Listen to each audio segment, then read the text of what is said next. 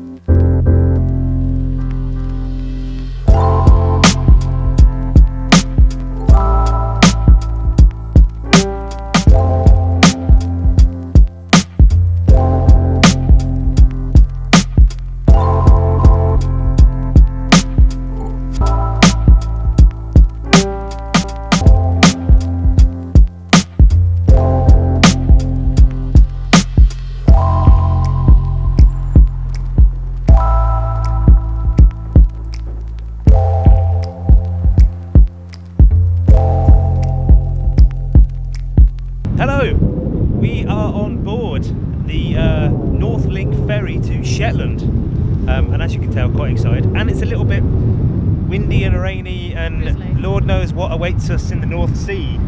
Hopefully a calm crossing for us who get seasick. I'm sure you'll be fine. Uh, we got 12 or so hours on this fine vessel um, before we uh, arrive in Lerwick. We're going to go back inside because we're getting rained on, and I think we're almost about to set sail too. Are. Fingers crossed for dry weather when we get to Lerwick. Yes.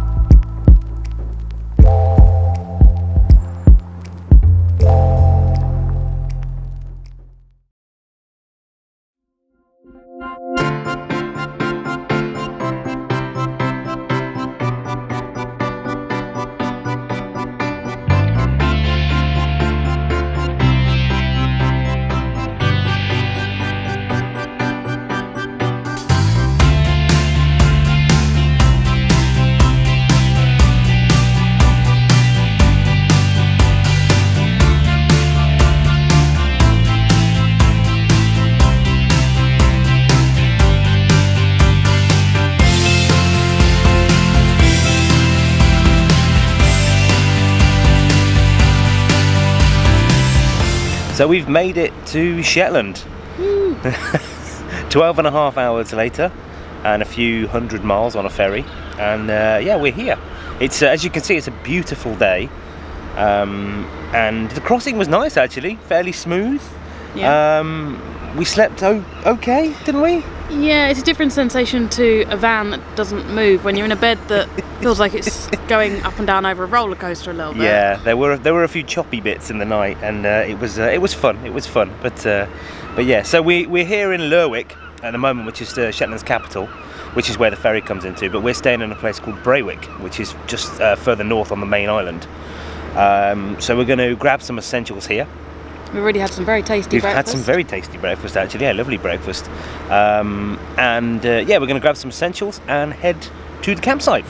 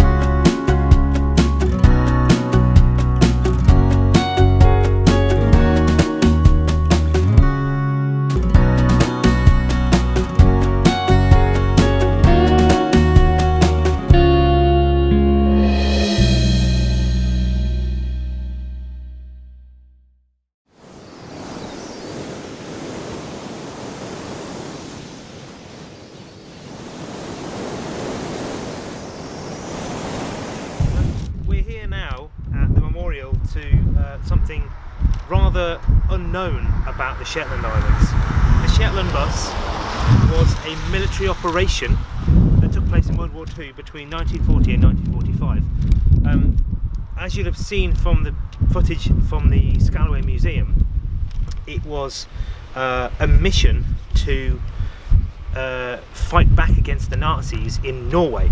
So in 1940, Germany invaded, with little warning, invaded Norway um, and essentially pushed a lot of Norwegians out. They jumped on boats and headed across the sea, and the first place they came to was here, the Shetland.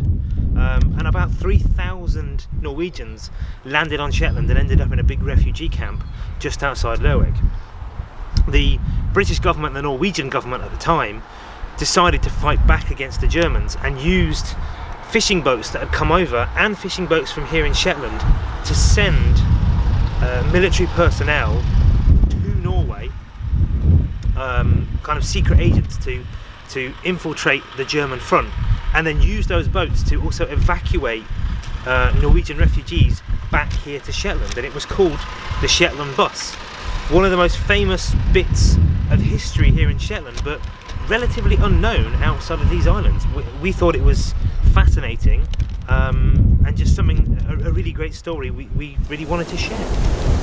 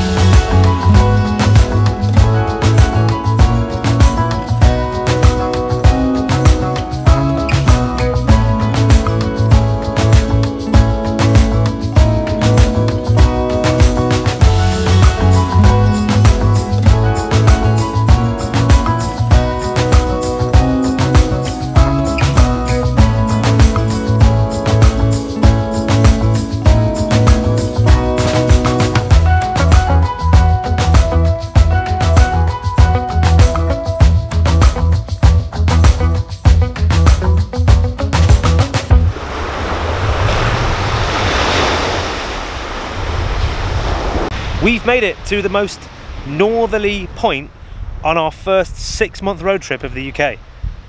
We're currently stood on Skaw Beach on the Isle of Unst. Yeah, and this, correct me if I'm wrong, this is as far north as you can get in a in a motor vehicle.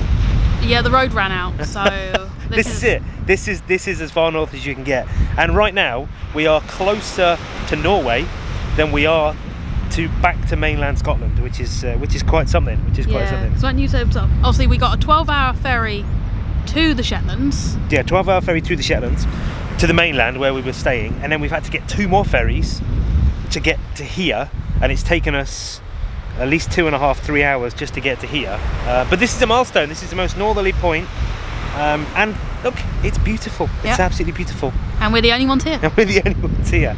Um, we also visited while we were here on Unst, we visited the uh, Saxa Vord Distillery, uh, which you will have seen in, on the video just before, um, where Shetland Reel Gin is produced. It's actually on an old RAF radar station. The radar still exists here um, on Unst. But the, the station is, is uh, not used anymore. It's uh, it's now just the, the gin distillery.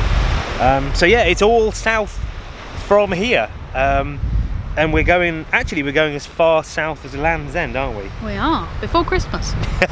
So, onwards and southwards.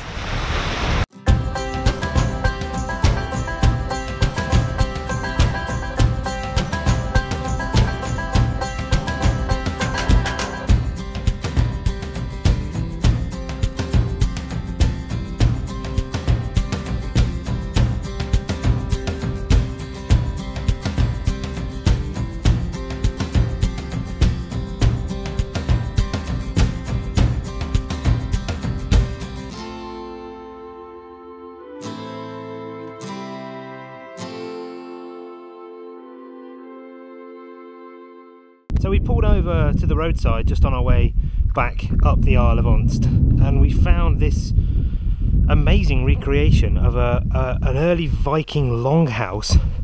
And just behind it an actual sort of Viking I guess longship? Rowing boat type thing?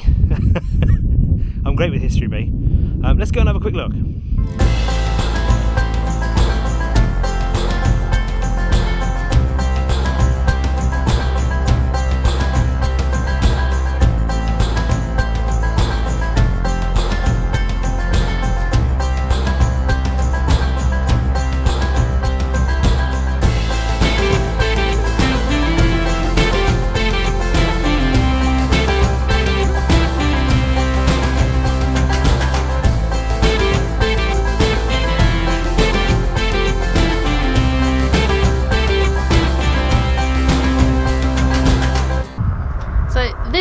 this bus shelter. It's so called because this bus shelter was removed by the council in the mid 90s, and a six-year-old boy, Bobby Macaulay, wrote a letter to the local newspaper saying he was outraged. He used to, him and his friends used to shelter in this bus stop, waiting for the school bus. Um, and as you can imagine, on the northerly Isle of Unst, it's a bit unforgiving. So a new bus stop was put in its place and it was then decorated and it has been redecorated every year with a different theme. This year's theme is fake gnus. Um, sort of focusing on the social media of today and for example there's an article in here that's drop bears target tourists and uh, yeah, I mean, I'll, I'll I'll let you make your mind up about it. If, if Sam just comes down here, just to show you what the height of a drop bear is in comparison to a human. Terrifying. So I presume that is fake gnus. Yes, exactly. So this is the guest book that is left in Bobby's bus shelter, and if you just click flick uh, flicking through, Claire, I mean, look at this. This has got to be what the world's most famous bus shelter. I mean, I'm skipping great big wads here. amazing, amazing.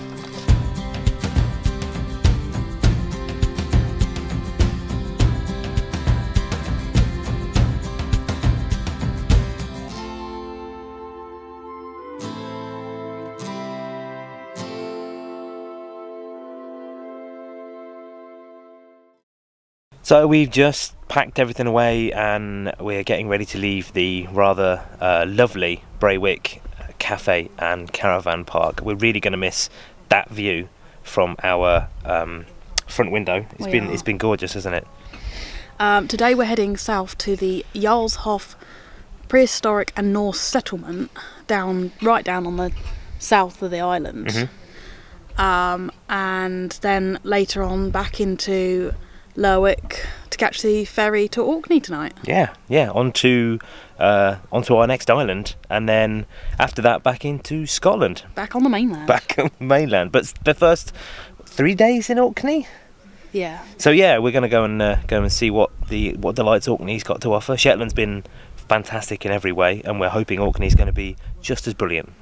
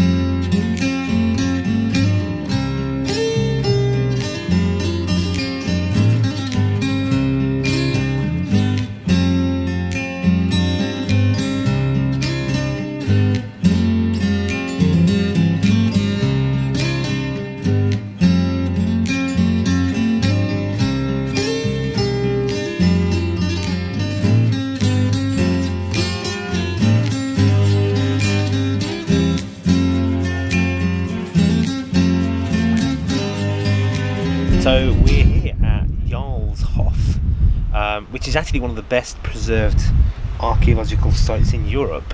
There's evidence here um, of the early settlers on Shetland, um, going right back as far as the Neolithic, Neolithic. Neolithic period, um, the Iron Age, um, Medieval. medieval, um, and then sort of uh, the building we're in now. It was uh, the 1500s. yes. So it shows really interestingly how generations have lived um, in Shetland um, on the same site. You know, uh, as you said earlier, people would find an area. You know, this this is in quite a sheltered bay, although it's not quite so sheltered today. but usually it's in a quite a, quite a nice uh, windless sheltered bay. Um, and when people live there, uh, others often, you know, others would say, "Well, this is this seems like a, a good place to live." So generation after generation would build houses in the same place or even on top of each other. So uh, in the 1890s, when this area was hit by a big storm, um, this house here was in place, but then a lot of the um, other um, kind of ruins were exposed, um, and people just didn't know they were there. So it shows that there has been people living on this site here uh, and on Shetland since the Neolithic period.